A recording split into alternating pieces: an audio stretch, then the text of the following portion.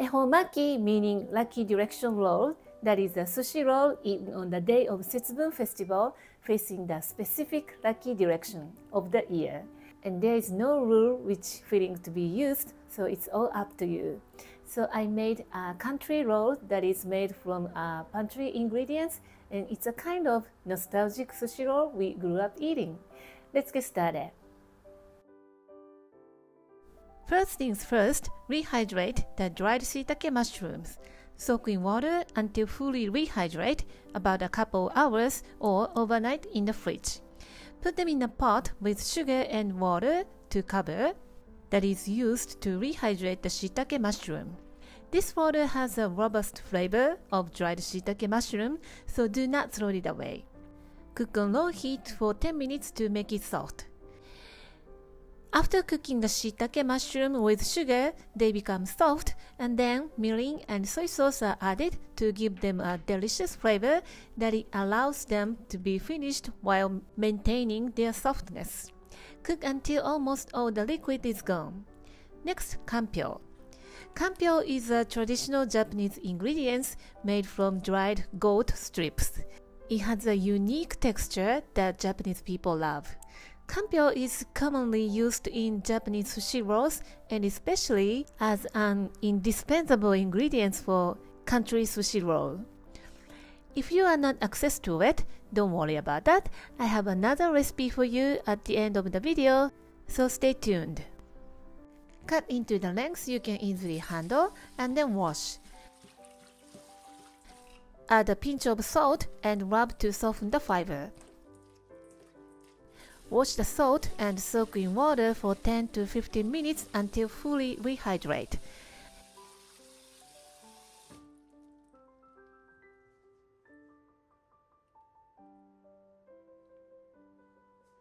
Add fresh water to cover and boil for 10 minutes until soft. Drain and add a tablespoon of sugar and pour water or kombu dashi to cover and cook for 10 minutes until soft. After 10 minutes, add mirin and soy sauce to the pot and cook 10 to 15 minutes until seasoned. Set aside until used. If you cannot access to the kampyo, use aburage instead. It's not quite the same but create a similar texture and taste. Next, tamagoyaki. Tamagoyaki is a super versatile filling for sushi and everything in Japanese cuisine. Today I'm going to make a larger tamagoyaki than usual. Crack 5 eggs in a bowl, add 2.5 tablespoons of mentsuyu and the same amount of water, and add a pinch of sugar. I don't usually add sugar to tamagoyaki. For the sushi fillings, just a little bit of sweetness balances all the components. Beat the egg well until the egg whites are mixed and then add seasonings.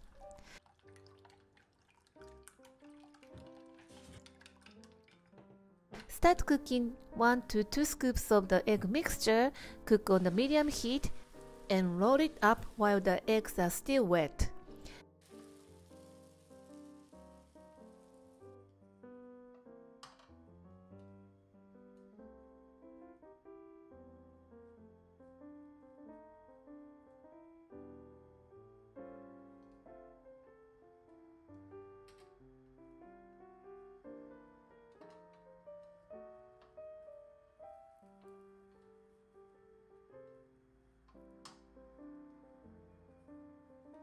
Slide the egg away from you, then grease the pan again and add egg mixture and run the mixture under the cooked egg, then roll it up.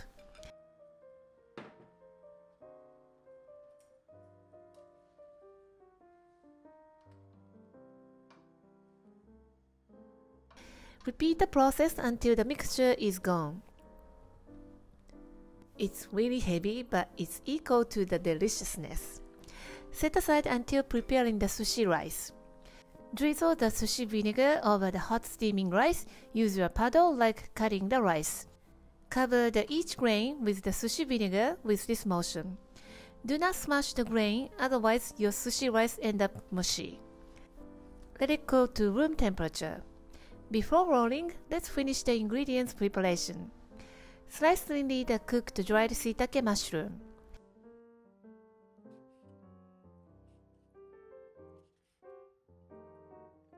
Cut tamagoyaki in half and cut cucumber into half.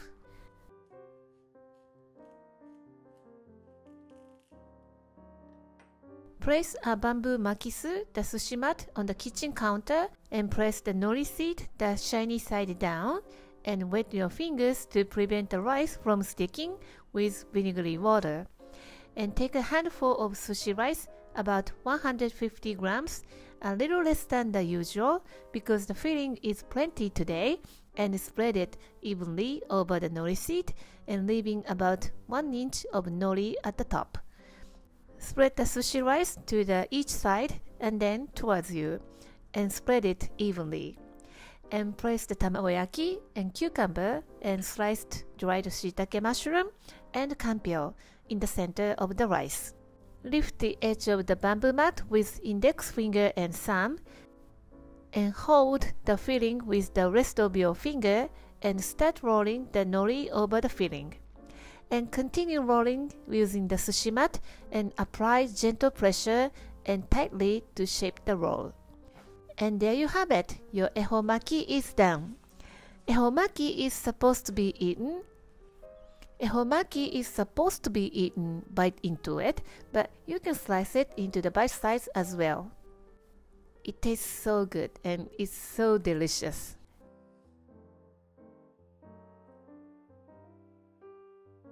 And let me introduce the easier version. Mince your carrot and lotus root, or spinach or sesame seed can be used instead. Put them in a heat-proof bowl and cook them in a microwave for 1 minute at 800 watt. Pour over the sushi vinegar and mix it into the steaming hot rice.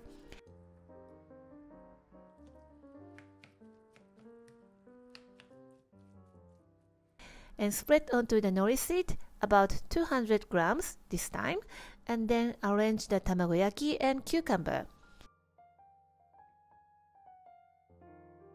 And then roll it up.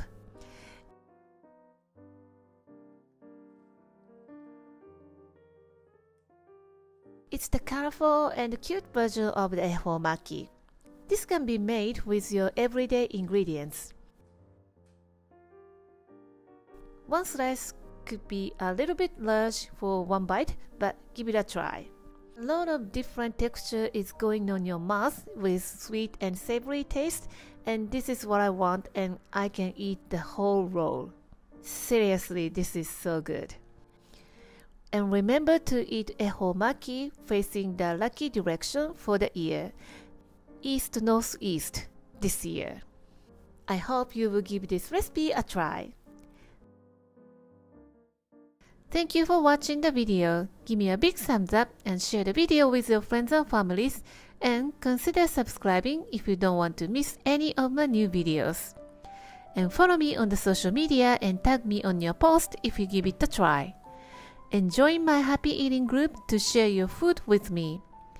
And my store on Amazon has pretty much everything that I'm using in my video. And for more information, visit my website princessbamboo.com. Thanks again, and I will see you soon. Bye!